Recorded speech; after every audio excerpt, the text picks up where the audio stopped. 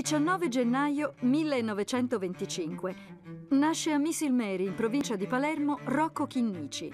Divenuto consigliere istruttore nel 1979, trasforma rapidamente l'ufficio istruzione di Palermo nel più importante centro italiano di lotta alla mafia, con la collaborazione di Giovanni Falcone, Paolo Borsellino e Giuseppe Di Lello.